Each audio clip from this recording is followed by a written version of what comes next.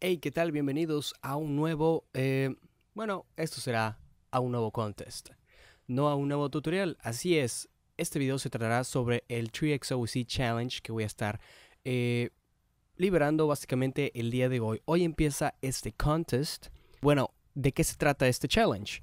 Se me estaba ocurriendo, bueno, para impulsar a los nuevos talentos a desarrollar su creatividad, a desarrollar nuevas habilidades, nuevo conocimiento mediante la experimentación se me ocurrió lanzar un contest en el que se debe hacer un track original desde cero utilizando nada más un solo BST.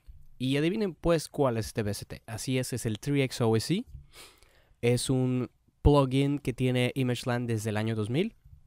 Es uno de los plugins más viejos que tiene ImageLine, pero ha sido rediseñado pues en lo que viene siendo FL Studio 12, ¿no? Que acaba de salir y ha sido rediseñado y es mucho más agradable ya a la vista, más intuitivo de manejar.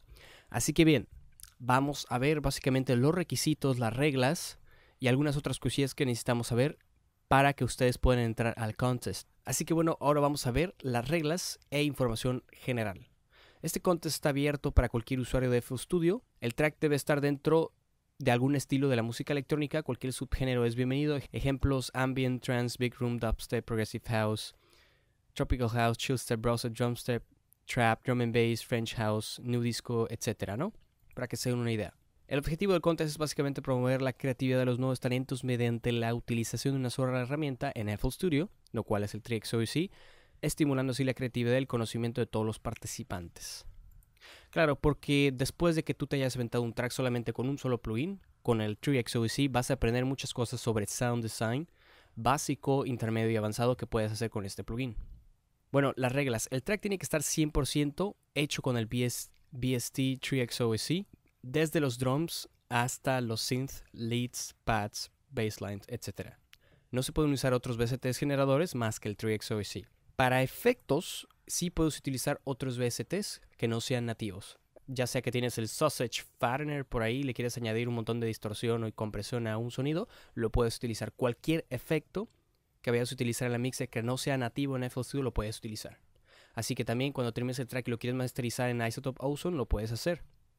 Nada más por citar un ejemplo. Ahora bien, si quieres agregarle vocales al track, puedes utilizar lo que es el Speech Synthesizer en FL Studio o puedes grabar las vocales por tu cuenta o utilizar básicamente samples externos, unas vocales que te hayas encontrado por ahí por la web, lo puedes utilizar, no hay problema con las vocales. A la hora de que termines el track, vamos a ponerle un nombre específico. Primero va a ser tu nombre artístico, luego el nombre de la, canción o del track, el nombre que le, que le, vayas a poner, y después le vas a poner entre paréntesis 3XOEC Challenge. Así es, para referir que, bueno, ese es el track para el 3XOEC Challenge. Por ejemplo, aquí tengo Sire New Era 3XOEC Challenge. Muy bien.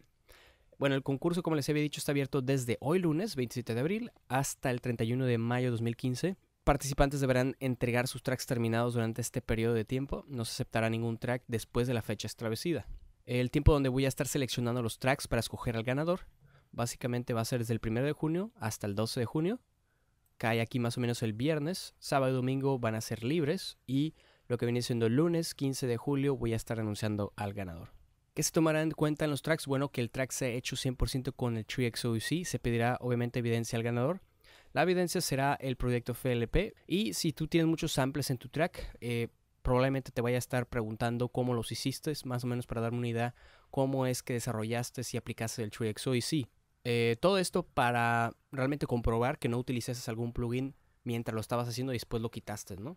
Más que nada para saber si realmente lo hiciste con el TreeXOC o, o es pura mentira. Ahora bien, el track debe ser original, creativo e innovador, lo cual yo creo que no va a ser muy difícil para ustedes porque, bueno, pues van a explotar su creatividad con un solo BST y eso les va a ayudar muchísimo a crear eh, diseños de sonido desde cero, dándole simplemente un toque original suyo, totalmente suyo. Se va a tomar mucho en cuenta la calidad de la mezcla y en el mastering en sí, más que nada toda la calidad técnica del track será tomada en cuenta. Para el único ganador se le otorgará FL Studio Fruity Edition con un valor de 99 dólares americanos. El track será promocionado en mi canal de YouTube, reposteado en mi canal de SoundCloud y compartido en lo que viene siendo en mi fanpage en Facebook. Si hay muy buenos tracks, muy buenos, digamos que son 10 muy buenos, Voy a escoger el mejor de todos y de ahí escogería dos más para promocionarlas en YouTube y SoundCloud, en ese caso nada más. Pero si solamente hay, por ejemplo, cinco tracks eh, que son buenos, solamente escogeré uno al que es ganador. Eso sería todo. Eh, son bienvenidos todos ustedes a entrar a este concurso. Si tienen algún amigo que habla inglés y también quiere entrar al contest, también lo pueden invitar. Este concurso es para todos ustedes. Espero que ustedes puedan entrar y que se animen, ¿no? Así que bueno, good luck and have fun.